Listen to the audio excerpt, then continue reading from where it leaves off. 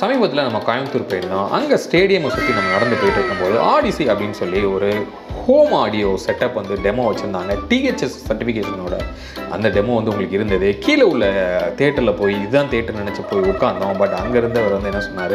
இல்லை மேலே தான் கிளைமேக்ஸே இருக்குது அங்கே வாங்க அப்படின்னு கூப்பிட்டாரு. மேலே போய் பார்த்தோன்னா உள்ள வேறு லெவலில் வந்து ஒரு தேட்டர் செட்டப் வந்து பண்ணி வச்சுருந்தாங்க. ஒரு நம்ம தேட்டருக்குள்ளே போன எக்ஸாக்ட் ஃபீல் வந்து நமக்கு கிடச்சது. பக்க ஆடியோ இன்சுலேஷனு ஒரு ஆறு சீட் சீட்டோட செட்டப்பு சூப்பராக ரெகுலேஷனோட உங்களுக்கு இருந்தது. தேட்டரோட ஸ்க்ரீனும் பார்த்தீங்கன்னா நல்ல பெருசாக இருந்தது. நம்ம அலைஞ்சதுக்கும் அதுக்கும் செம்ம டயர்டு அப்படியே ரெகுலேஷனை தூக்கி விட்டு கால் மேலே காலை போட்டு ஒரு அரை மணி நேரம் செம்மையான ஒரு டெமோ வந்து பார்த்தோம்.